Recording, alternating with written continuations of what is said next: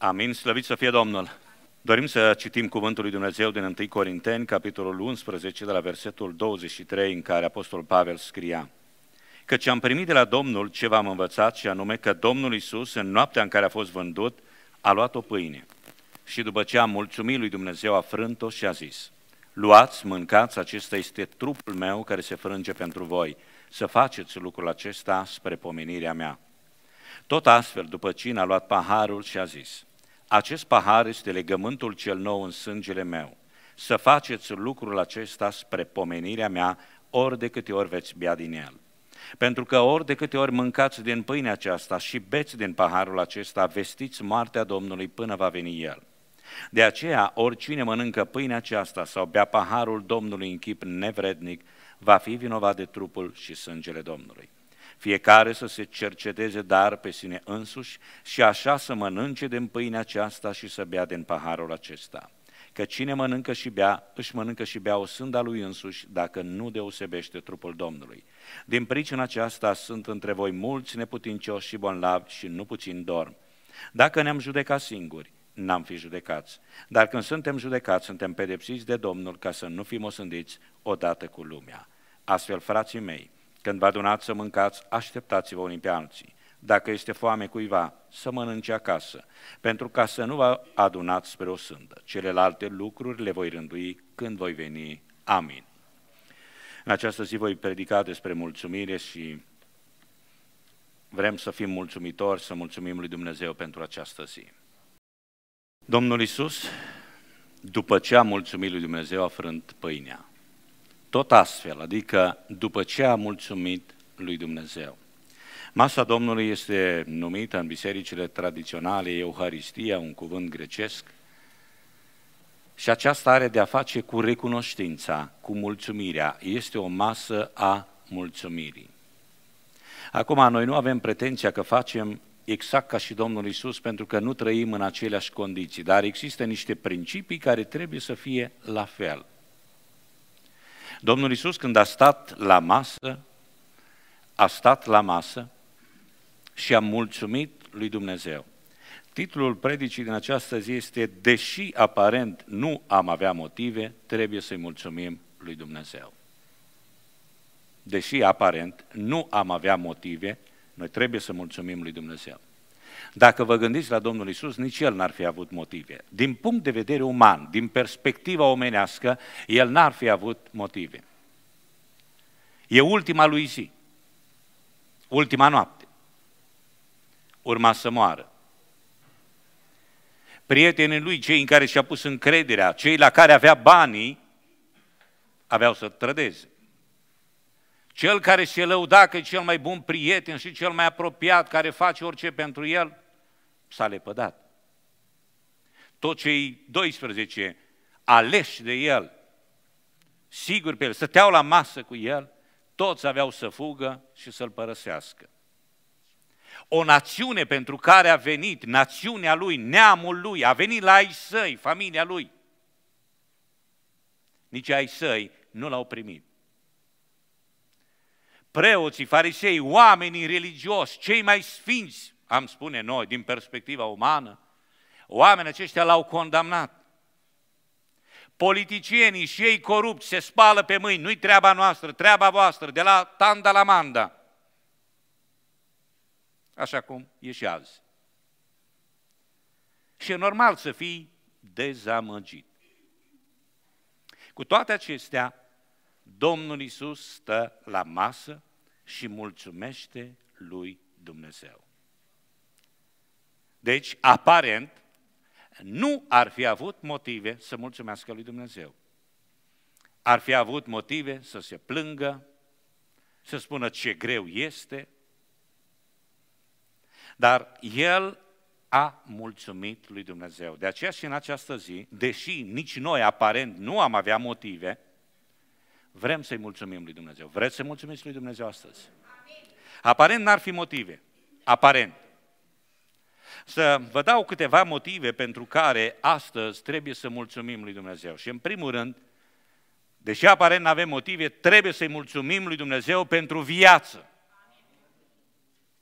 În timpul acestei pandemii, contestată de unii conspirații, neconspirații, au murit totuși peste 500 de mii de oameni până acum, care oricum ar fi trăit, că aveau și alte boli, mureau oricum, că oricum toți murim într-o zi. Dar au murit. Păstori care au murit, părinți care au murit, tineri care au murit.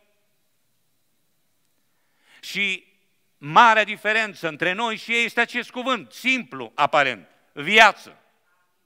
Tu astăzi ai viață. Tu astăzi te-ai trezit. Tu astăzi umbli. Ai binecuvântarea lui Dumnezeu, ai viață. E o mare diferență între tine și cei jumătate de milion de oameni care în timpul acestei pandemii, și nu numai că vorbim de această pandemie, dar milioane și milioane de oameni au murit în această perioadă sau în acest an. Atâția oameni care au murit. Și tu astăzi trăiești. Atâția oameni au murit și se spune că mor câte doi, trei oameni în fiecare secundă. Pe tot pământul.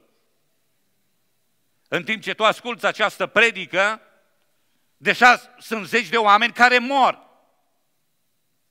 Și tu ai viață. De aceea când te gândești la viața asta, când te gândești că Dumnezeu ți-a mai dat încă o zi, cum cântăm noi, dăm încă o zi, Doamne, în casa ta, o zi de la Dumnezeu este o binecuvântare, pentru care vrem să mulțumim lui Dumnezeu.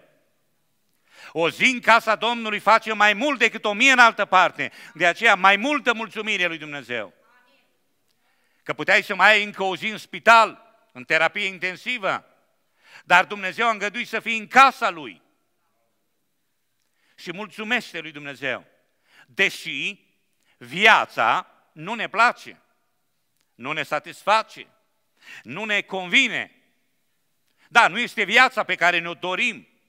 Nu este viața plină de bucurii la care visăm, nu este viața plină de fericire sau de reușite, de succes.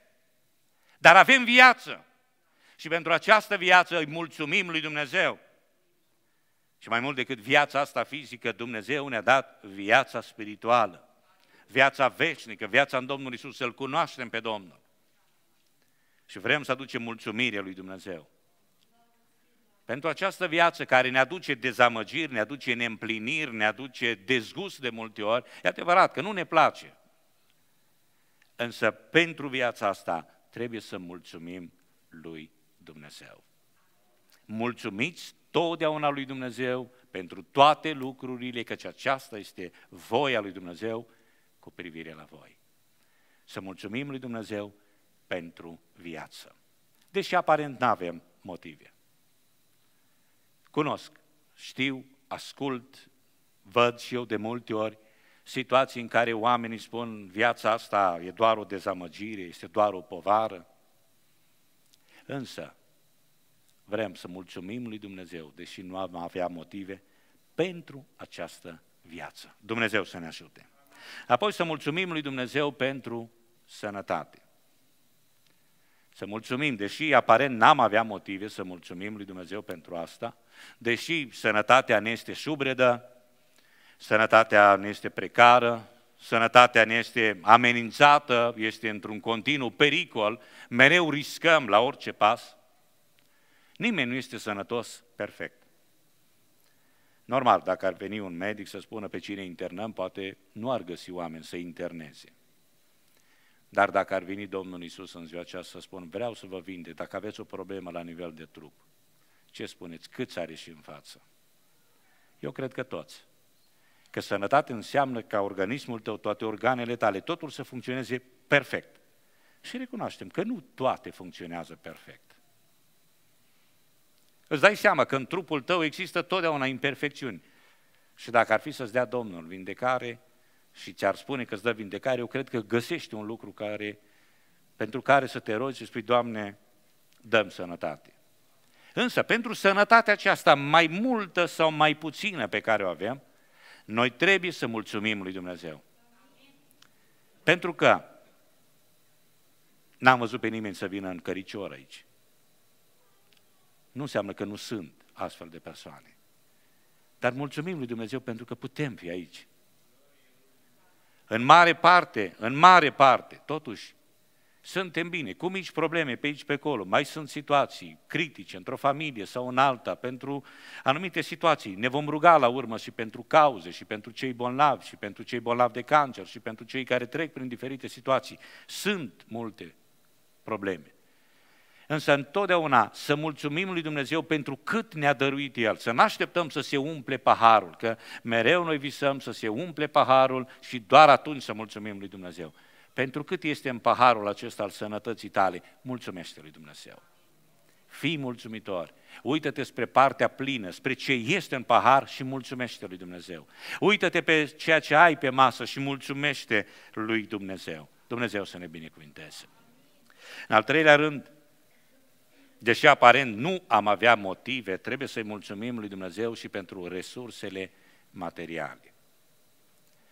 Problema COVID-19 va aduce o mare criză economică, financiară, care se resimte deja în multe, multe zone.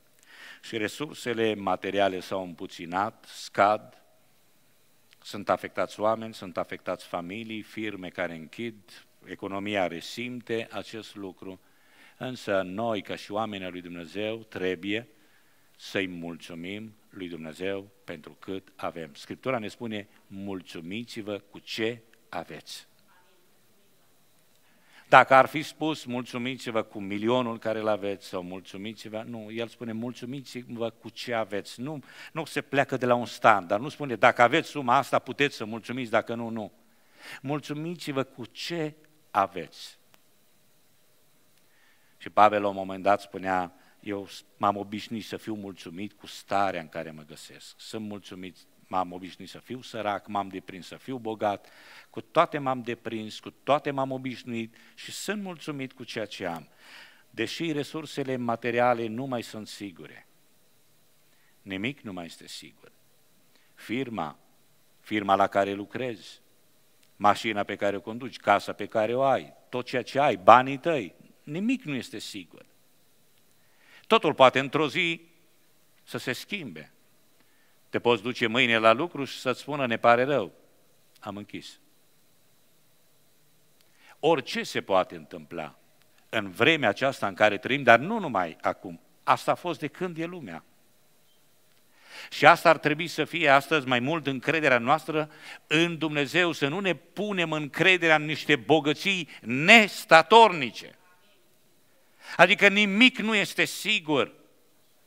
Criza asta a arătat că chiar miliardari, chiar oamenii bogați, mulți au pierdut foarte mult, alții s-au îmbogățit, că asta e viața.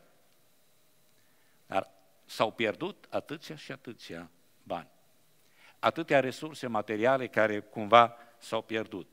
Deși resursele materiale nu sunt suficiente, poate te gândești, aș avea nevoie de mai mult, am puțin, eu încă am nevoie. În această zi oprește-te, oprește-te în dreptul familiei tale, a casei tale, vieții tale, uită-te la tot ce ți-a dat Dumnezeu, ridică-ți ochii spre cer și spune, Doamne, îți mulțumesc pentru tot ce mi-ai dat. De la tine vin toate, din mâna ta le-am primit. Mult sau puțin, nu contează, mulțumește lui Dumnezeu. Nu aștepta să te îmbogățești pentru a mulțumi lui Dumnezeu. Nu te aștepta să, aduci, să ajungi la o anumită cotă, la o anumită sumă, la o anumită cifră, ca să mulțumești lui Dumnezeu. Mulțumește acum. Mulțumește în fiecare zi pentru cât ți-a dat. Da, aparent n-ai avea motive. Aparent spui, am datorii, am probleme, nu știu cum să fac, nu știu de unde să împrumut, nu știu cum să ies din impasul acesta. Însă totdeauna nu uita, mulțumește lui Dumnezeu pentru tot ce ți-a dat Dumnezeu. În al patrulea rând, deși aparent nu avem motive, trebuie să-i mulțumim lui Dumnezeu pentru biserică. Știu, sunt nemulțumiri, nu ne place, nu ne convine. Pandemia asta schimbă multe lucruri, cu măști, cu uh, restricții, cu capacitate limitată, nu putem face cum vrem, când vrem, ce vrem. Știu că biserica nu mai este ceea ce a fost. Chiar din punct de vedere spiritual, lăsând condițiile. Da, eu sunt mulțumit și trebuie să fim mulțumiți, însă trebuie să fim și realiști. Adică dacă cauciucul de la mașină s-a desumflat, eu nu spun mulțumesc lui Dumnezeu și mă duc înainte, îmi dau seama că este o problemă, recunosc acea problemă, opresc, remediez situația. La fel și cu biserica, noi vedem problemele care apar, vedem că biserica este plină de oameni firești care dezamăgesc, vedem că predicile nu mai sunt cele care au fost, vedem că prorociile nu mai sunt cele care au fost, cântările, rugăciunile, multe lucruri nu mai sunt cum au fost și totul încet, încet parcă se stinge, se duce. Noi vedem această realitate. A fi mulțumitor nu înseamnă să negi realitatea, nu înseamnă să negi boala, să negi sărăcia sau starea în care te găsești, nu înseamnă să o negi. Adică să, să închizi ochii și să spui, nu e adevărat, e totul bine. A fi mulțumitor nu, să, nu înseamnă să spui Andrat tutto bene, totul e bine, las că e bine, mergem înainte, bine.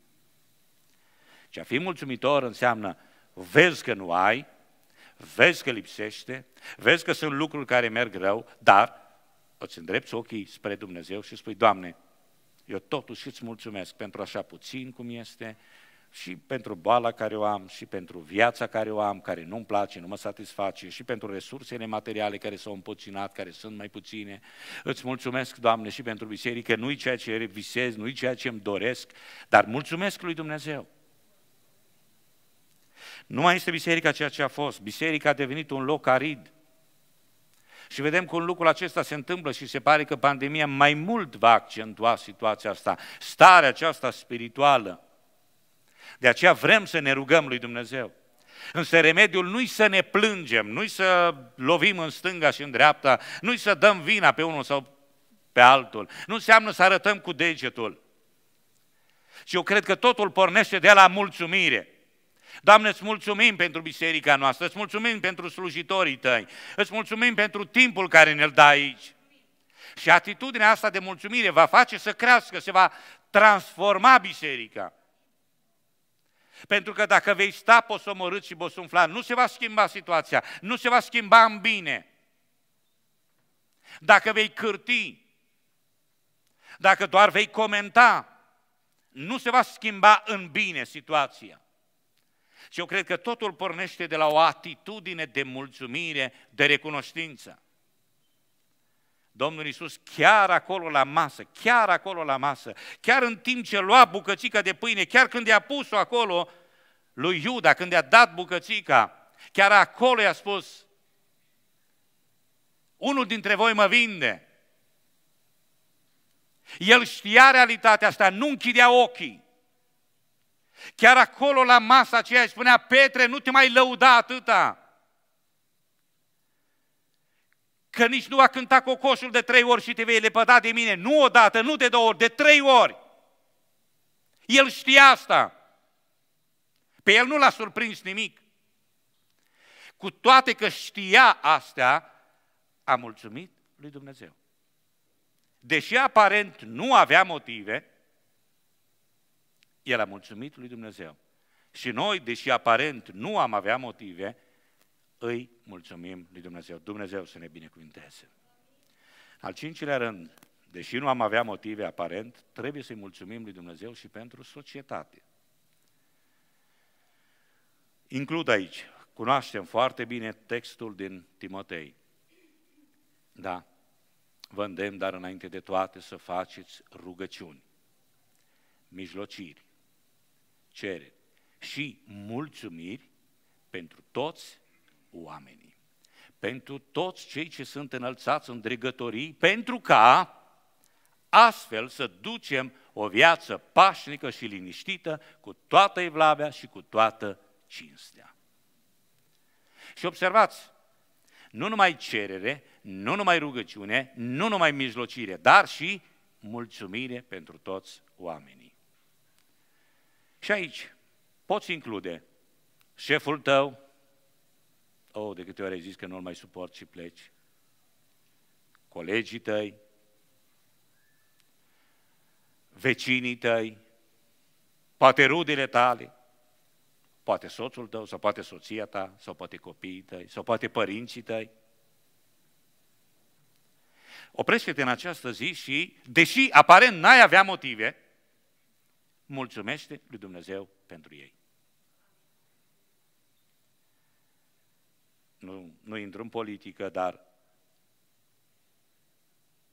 dacă mergi acolo, aparent, chiar că nu avem motive să-i mulțumim lui Dumnezeu pentru președintele care îl avem, guvernul care îl avem în România, nu avem motive. Dar mulțumim lui Dumnezeu.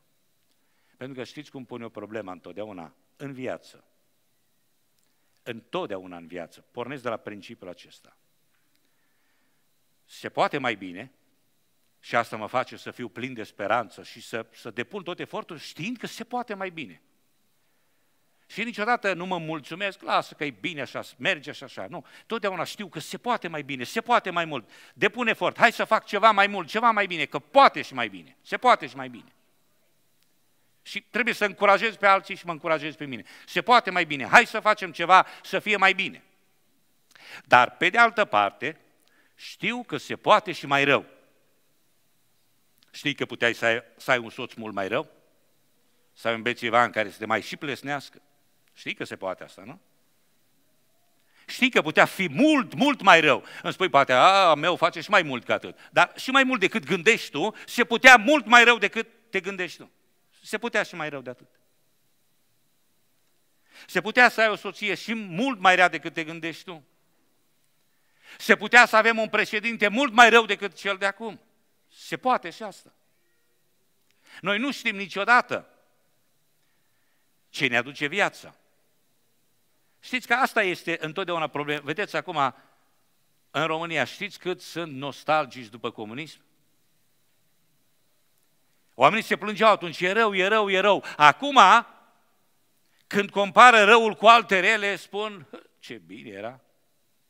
Eram fericit și nu știam. Nu? A citit deja povestea asta. Că ne plângeam, că nu ne plăcea și vedem în multe lucruri că era în unele lucruri era mai bine. Acum ne plângem, nu ne convine, COVID, să vezi ce probleme. Noi nu știm anul viitor ce pandemie va veni sau ce probleme vor veni și poate va fi mult mai rău ca acum. Și când te uiți așa în perspectivă, în ansamblu, ai fi zis, e, ce mulțumitor trebuia să fim noi atunci, că abia acum e rău. De asta mulțumește lui Dumnezeu pentru că se poate și mai rău, se poate să fie și mai rău de atât n-ai motive aparent, dar mulțumește lui Dumnezeu pentru societate, pentru guvern, pentru parlament, chiar dacă societatea s-a stricat ca și Sodoma de altă dată. Chiar dacă societatea în care trăim urăște adevărul, urăște biserica, ne urăște pe noi ca și creștini, urăște sfințenia, mulțumește lui Dumnezeu, se poate și mai rău. Că sunt alții cărora li se taie capul imediat, dacă spun că sunt creștini. Noi ne plângem aici, progresiști, și începem noi cu nu semnează legea, nu, se poate și mai rău. Vă spun eu sigur că se poate.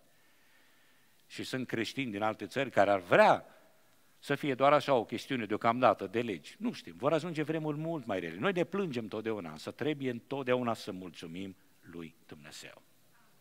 Să mulțumim lui Dumnezeu pentru societatea în care trăim, pentru societate, chiar dacă această societate l-a scos pe Dumnezeu afară din perimetrul ei, din spațiul ei, din identitatea ei.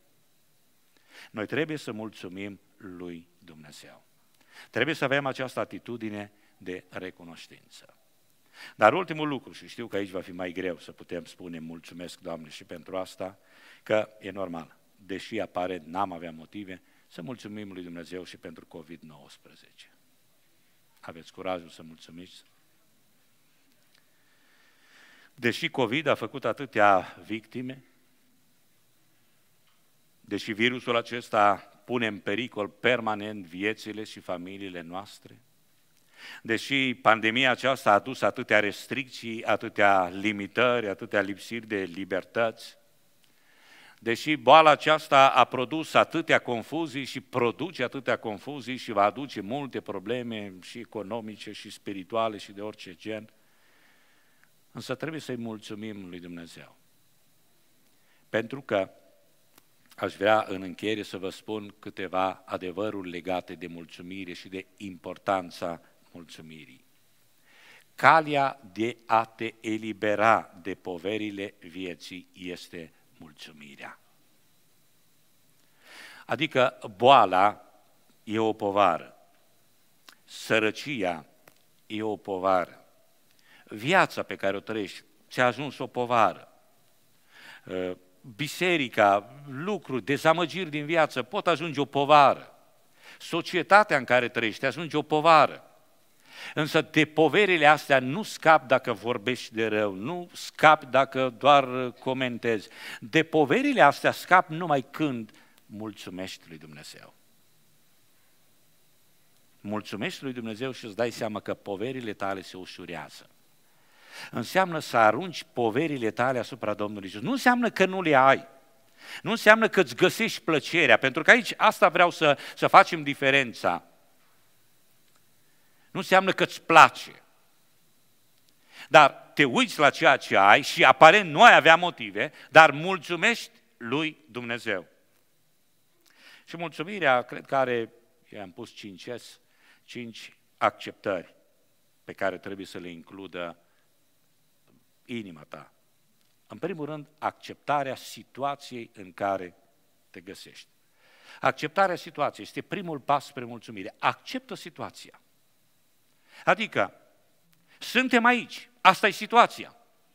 Pot să mă plâng, pot să bombănesc, pot să lovesc, pot să mă răzvrătesc, pot face orice, dar situația este asta. Și sunt situații pe care nu le mai pot schimba. Sunt realități la care nu mai ai nicio putere, n-ai niciun control. Îmi place foarte mult de David. David are copilul bolnav, se roagă, postește, nu mănâncă, este mereu trist, dar la un moment dat vede că fața altora s-a schimbat și recunoaște prin asta că a murit copilul. Și el pune întrebarea, a murit copilul? Da, bun, aduceți masa, vreau să stau la masă. Mulțumesc lui Dumnezeu, se spală, se bărberește, se pregătește și oamenii sunt confuzi. David, ce cu tine? Da, trebuie să treacă niște zile, trebuie să fie. Și el a spus, bun, dar peste un an nu voi sta la masă, nu voi... Da. De ce? Trebuie un timp în care se elaborează doliul, în care omul se obișnuiește, acceptă. De ce să aștept un an de zile sau o lună sau două sau trei să accept situația? Gata, eu am acceptat situația. A murit? Da. Accept situația. Nu mai pot schimba. Eu la el mă duc, el la mine nu mai vine. Punct. Accept situația, nu-mi place, nu-mi convine, dar ce rost are să mă zbat în ceva care nu pot face, nu am control. Acceptă situația în care te găsești. Sunt lucruri pe care nu le mai schimb niciodată. Și se spune că depresia și problemele în general, îngrijorările, sunt provocate cel mai mult și cel mai mult de lucruri din trecut pe care nu le mai pot schimba niciodată. Așa că acceptă situația. Te găsești aici și acum în situația asta. N-are rost să te frămâni, să te îngrijorezi, n-are rost să cazi în depresie pentru ce a fost sau pentru ce este. Acceptarea situației. Al doilea rând, acceptarea suveranității lui Dumnezeu. Este al doilea pas în mulțumire. Acceptă suveranitatea lui Dumnezeu. Că tu nu poți să faci ce vrei, tu nu deții controlul, tu nu poți schimba foarte mult, nu poți schimba. N-ai cum. Aș vrea și eu să se schimbe multe lucruri în țara asta sau în România sau în lume sau în biserică, dar îmi dau seama, ca om sunt limitat și nu pot face mai nimic, foarte puțin pot face. Accept suveranitatea lui Dumnezeu. Dumnezeu este suveran, El face tot ce vrea, el îngăduie asta, dacă a venit virusul acesta, știu că el n-a venit fără știrea lui Dumnezeu, fără voia lui Dumnezeu, ci toate sunt în controlul lui Dumnezeu. Accept faptul că El este suveran și El a îngăduit. El a permis asta. Mă uit spre Iov. Cum adică, pentru că vreau să înțelegeți bine ce înseamnă binecuvântarea lui Iov. Binecuvântarea înseamnă tocmai recunoștința, mulțumirea. Da, Dumnezeu ne-a dat, Dumnezeu a luat. Fie numele Domnului binecuvântat. Asta însemna mulțumirea și nevasta lui a spus, eu, bleastă-mă pe Dumnezeu. Ce să-i mulțumești? Ce să-l binecuvintez? Bleastă-mă, mor și ai terminat. Și vedeți Iov, mulțumește lui Dumnezeu. Pare absurd, deci spunem noi, aparent n-ar avea motive Iov să mulțumească. Cum adică? Ți-au murit cei zece copii. Ai pierdut casele, ai pierdut toate resursele materiale, ai pierdut toate turmele tale, ai pierdut sănătatea ta, ai pierdut prietenii tăi, toți s-au depărtat de tine și nevasta l-a scos din casă și pe un morman de gunoi ședea. A devenit insuportabil, mirosea urât, nimeni nu vrea să stea lângă el. Iov, ai pierdut totul. Cum adică să mulțumești lui Dumnezeu? Ai ceva probleme? Domnul a dat, Domnul a luat, fie numele Domnului binecuvântat. Asta este recunoștința, mulțumirea. Aparent n-ai avea motive, dar trebuie să mulțumești lui Dumnezeu. Și înseamnă acceptarea suveranității. Asta a acceptat Iov. A acceptat situația în care se găsește, dar a acceptat mai presus de toate suveranitatea lui Dumnezeu. Domnul a dat. Domnul a luat. Domnul a făcut toate astea. Și trebuie să accepti asta, suveranitatea lui Dumnezeu. În al treilea rând, trebuie să accepti sistemul de prelucrare a caracterului, sistemul lui Dumnezeu. Prin tot ceea ce trecem, noi suntem în atelierul lui Dumnezeu, suntem lutul pus pe roata olarului. Asta suntem noi, asta e viața noastră. Când vine o boală, când vine un necaz, când vine o încercare, când vine o pandemie, când vine orice urgie pe pământ, vreau să gândești întotdeauna din perspectiva aceasta. Dumnezeu vrea să mă prelucreze. Când este un șimei care te bleastă, te vorbește de rău și aruncă cu țărână în văzduh, Vedeți, David cum gândește, acceptă situația, acceptă suveranitatea lui Dumnezeu, îi spune, poate Domnul i-a zis să mă blesteme în felul acesta de ce să mă răzvrătesc eu? Domnul poate i-a spus asta. Domnul îngăduie asta. David, mă ocup eu. Să se ocupe Domnul, e treaba lui. Nu trebuie să mă răzbun eu, să se răzbune el. Să mă apere el. Dar totodată David recunoaște, e sistemul lui Dumnezeu de prelucrare. Mă călește Dumnezeu, mă prelucrează Dumnezeu, îmi transformă caracterul, mă modelează, m-a pus pe roata olarului. Și acum, toate astea nu sunt decât metode de prelucrare prin care El vrea să te facă mai bun.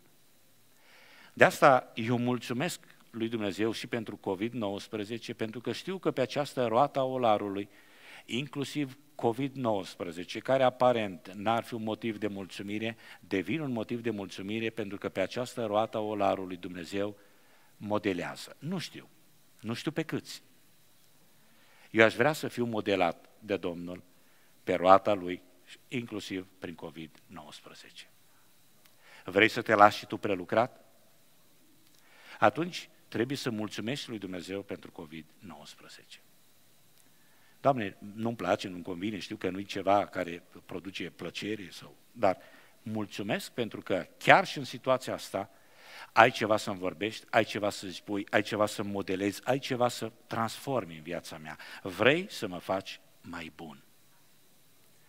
Al patrulea ies, al patrulea pas, este acceptarea superiorității lumii spirituale față de cea materială. Noi trăim în aceste două lumi. Pe de o parte este lumea fizică, lumea materială, trupul nostru, dar pe de o parte este lumea spirituală în care trăim, trăiește Duhul nostru. Problema este că oamenii firești sunt oamenii care pun accent pe partea firească. Să arate bine, să mănânce bine, să aibă de toate și pe plan fizic să aibă de toate și de partea spirituală nu interesează. Creștinul este omul care mulțumește lui Dumnezeu și din perspectiva asta el vede superioritatea lumii spirituale față de lumea materială.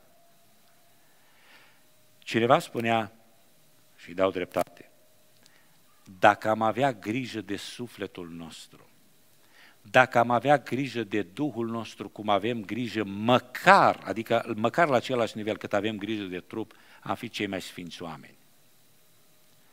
Adică față de trup, când te-ai trezit dimineața, stai să-l hrănești, stai să-l speli, să te uiți în oglindă și să fie totul bine, să fie totul perfect și investim și investim atâtea dacă ai petrece atâta timp și pentru Duhul tău, cum nu ești din casă fără să te piepteni, fără să te speli, fără să te aranjezi, să nu ieși din casă fără rugăciune, fără mulțumiri lui Dumnezeu, să ai grijă de sufletul tău, măcar, măcar cât ai grijă de trupul tău, situația s-a schimbat în mod radical. Creștinul mulțumește lui Dumnezeu pentru că acceptă superioritate, adică este mult mai valoros. Domnul Isus a spus la un moment dat, ce ar folosi unui om să câștige toată lumea dacă și-ar pierde sufletul? Sufletul tău este valoros, este mult superior trupului. Trupul acesta nu e decât cutia, nu e decât ambalajul. Ceea ce comoara nu este trupul, comoara este sufletul. Și trebuie să accept superioritatea asta. Ori lumea în care trăim nu mai pune accent pe, pe suflet, pe spiritualitate, pe rugăciune. Toate astea sunt vechituri, lucruri care ne încurcă. Trupul are valoare. Viața asta fizică, plăcerile trupului, astea trebuie să le căutăm, astea trebuie să le dorim, astea aduc fericire și oamenii aleargă crezând că satisfacerea acestor plăceri îi va face mai fericit, dar oamenii sunt mai dezamăgiți. Și spuneam, duminicile trecute, cele mai multe sinucideri nu sunt în țările sărace, ci în țările cele mai bogate. Oamenii cei mai bogați au cele mai mari probleme de depresie și de dezamăgire. Pentru că pun accent pe trup și nu pun accent deloc pe suflet. Și în al cincilea rând, dacă vrei să te eliberezi de poverile vieții și alegi calea mulțumirii, al cincilea pas este acceptarea sfârșitului temporar al trupului și al vieții fizice. Oricât ai strânge, oricât ai, te-ai îngrijit de trupul tău, orice ai face pentru bunăstarea ta materială și fizică, trebuie să știi acest adevăr, totul se va sfârși. Oamenii bogați mor, geniile mor, oamenii inteligenți, oamenii puternici mor. Toți mor. Există un sfârșit, dar acest sfârșit este temporar. Moartea nu e un sfârșit, este doar un sfârșit temporar, un sfârșit al existenței trupului. Dar sufletul continuă să trăiască. Și de asta atunci când mulțumești lui Dumnezeu, poți să mulțumești chiar și într-un cimitir, poți să mulțumești în fața unui sicriu și în fața unui mormânt, mulțumești lui Dumnezeu, pentru că accepti realitatea asta, accepti adevărul acesta, că există un sfârșit temporar al existenței materiale, al existenței fizice. Îl accepti. Întotdeauna pornește cu ideea asta în viață. Există un sfârșit, totdeauna când e bine. Gândește, oricum într-o zi se va sfârși. Ai un loc de muncă, uh, ai copii, ai casă, ai mașină, ai multe lucruri în viață totul se va sfârși. Există un sfârșit temporar. Și când ai acceptat ideea asta, că totul se va sfârși, există un sfârșit temporar, atunci poți să mulțumești lui Dumnezeu altfel. De aceea închei spunându-vă și că postura ideală a creștinului în relația cu Dumnezeu este mulțumirea. Când stai la masă cu Dumnezeu, când stai în părtășie cu Dumnezeu, mulțumește lui Dumnezeu, mulțumire. Nu poți să te raportezi la Dumnezeu altfel. Adică nu poți să stai la Dumnezeu la masă, să bați cu pumnul în masă, nu-mi place asta, dar ce cu asta, de ce asta, luăm la întrebări pe Dumnezeu, nu ne convine, protestăm. Nu se poate așa ceva. Vrei să stai în părtășie cu Dumnezeu, vrei să ai o relație autentică cu Dumnezeu, nu uita, singurul mod, singura cale prin care poți să stai la masă cu Dumnezeu, pe care poți să stai de vorbă cu Dumnezeu, este mulțumirea. Ridici ochii spre cer și spui, Doamne, îți mulțumesc sunt lucruri din viață care nu-mi plac. Nu-mi place viața asta, sănătatea, resursele materiale, biserica, societatea, COVID-19. Sunt lucruri care aparent nu sunt motive de mulțumire. N-aș avea de ce să-ți mulțumesc, dar aleg să-ți mulțumesc. Și nu uita că secretul fericirii în viață este mulțumirea interioară. Când ești mulțumit, când ai mulțumirea aceea în suflet, poți să te apropii de Dumnezeu, dar poți odată trăi și în acea stare de liniște, de uh, echilibru, din toate punctele de vedere, și mental, și spiritual, și fizic chiar. Pentru că nemulțumirea asta produce mult mai rău trupului tău, chiar trupului tău, sufletului tău, duhul tău, totul, nemulțumirea e, e ca și cum ai lua o mașină și începi să te izbești peste tot. Cam asta e nemulțumirea. Și nu mai are cum nici mașina ta să fie bună, nici a vecinului, nici a celorlalți, pentru că asta, asta e nemulțumirea, asta este explozia nemulțumirii. Începi să strici totul. Strici familia, strici biserica, strici societatea, strici fabrica, strici totul, strici relațiile, nemulțumirea. Asta provoacă. Cam asta gândește-te că este nemulțumirea. Ca și cum te-ai pus la volanul unei mașini, nu-ți convine și dă în stânga, dă în dreapta. Nu uita, distrugi pe alții, te distrugi și pe tine. Nemulțumirea te distruge. Pe când mulțumirea te împlinește, îți produce acea fericire, acel echilibru de care ai nevoie în viață. De aceea astăzi să nu o luați ca un lucru absurd, cum să mulțumesc lui Dumnezeu. N-aș avea motive, da, te cred, aparent nu ai avea motive să-i mulțumești lui Dumnezeu, aparent. Dar privește dincolo de aparențe. Privește că sunt motive suficiente să mulțumești lui Dumnezeu. Să fii cu inima veselă, plină de mulțumire, să spui, Doamne, îți mulțumesc pentru tot ce mi-ai dat. Amin.